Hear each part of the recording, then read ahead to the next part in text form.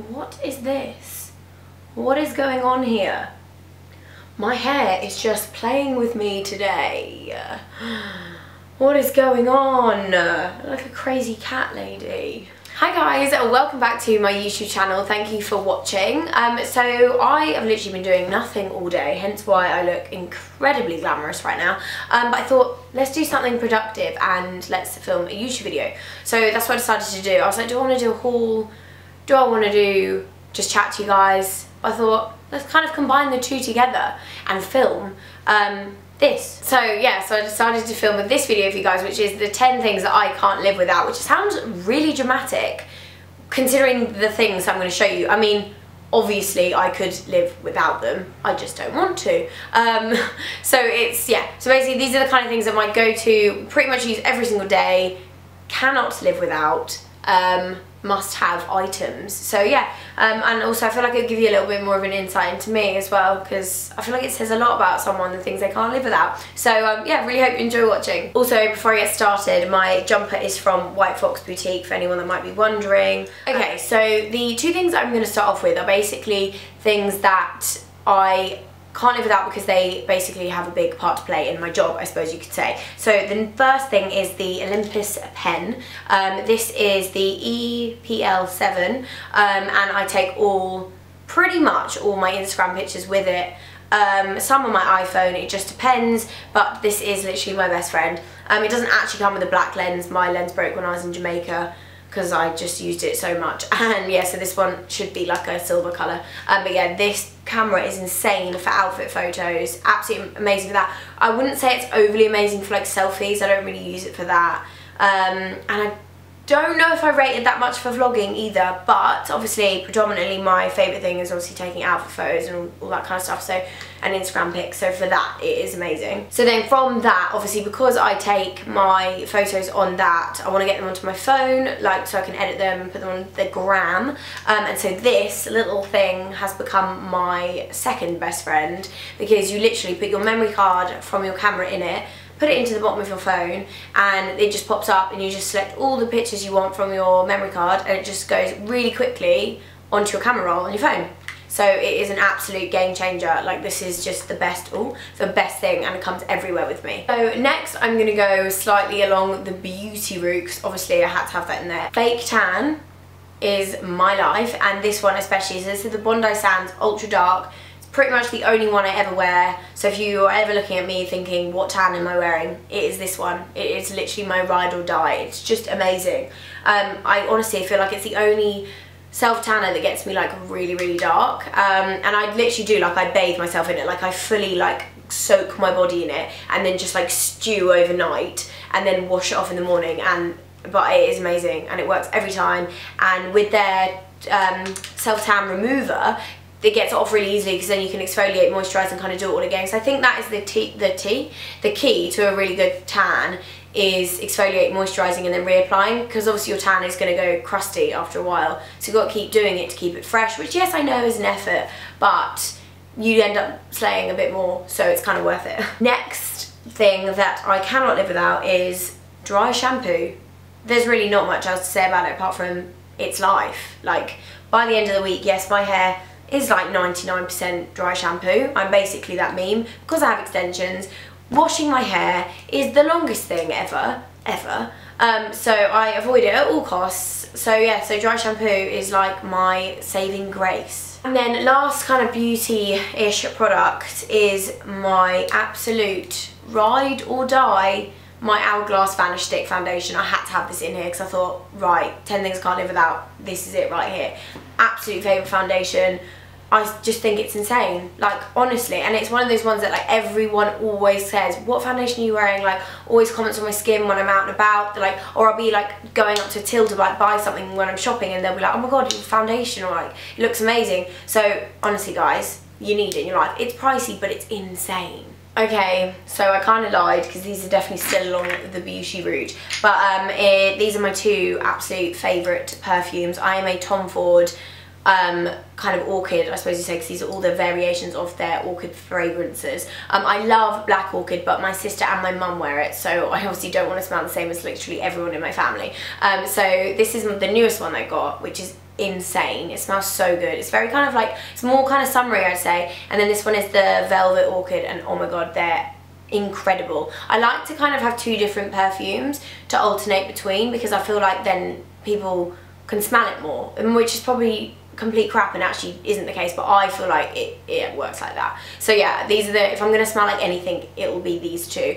plus I am an absolute sucker for packaging and they just both look so pretty so they're a vibe so this is kind of a random one, um, but I, and I finished my big one, so I'm to have to use my little travel sized one to show you guys. But basically, I'm not the best sleeper. Like, I find it so hard to sleep. I think it's just because, like, I feel like because I'm always switched on, like I'm constant, my brain is just in constant, like what can I do next, like what am I doing next, what's going on, like where am I, what am I doing, like I'm just go, go, go all the time, like no chill, I swear to God.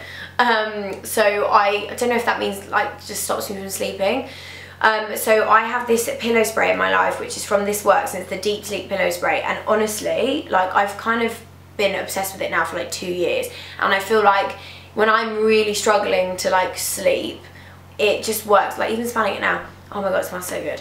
Uh, it's like lavender, kind of like, but it smells a bit like a spa. It's that kind of thing. Um, and it, honestly, it's it's insane. This is my travel one, but because um, I finished my big one, which is normally by my bed. But um, if you're struggling with sleeping, I recommend trying this because it works for me. So hopefully it'll work for you guys. But and it just smells really nice as well. Even if you do sleep really well, but you just want to be bougie AF when you're in bed just get yourself one of these because you just smell amazing. So next up, this is what I mean about this video being like 10 things I can't live without. I can live without this item, but I just don't want to. Um, so this is my absolute favourite handbag. It is my YSL um, crossbody bag. I bought it in New York this year and it's literally probably one of my favourite ever designer purchases. Um, I just love the kind of like crocodile leather and I love that it's all black everything and I wear it honestly I use it all the time like it was so expensive really um, it was such a splurge but I love the fact that I do use it all the time. I feel like it was totally worth it. So yeah, it's